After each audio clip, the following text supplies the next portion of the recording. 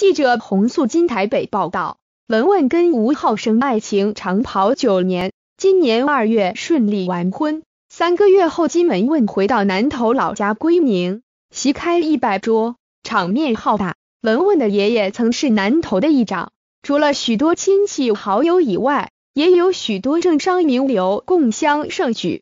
两人归宁宴在即，新娘文文的保养品侯爷台北营业处也正准备开幕，让吴浩生哀怨说根本没时间做功课，更让文文语出惊人说婚后生活一点都不好。新嫁娘文文为了台北店的开幕，每天只睡不到五小时，讲求完美的她让吴浩生格外心疼，也跳下来主动帮忙拍摄产品。让文文直说婚后不满意是因为自己的龟毛个性，但最满意还是身边有个完美老公。文文表示这一次还好有吴浩生的帮忙，归明午宴跟侯爷台北门市的开幕，完全让他压力倍增。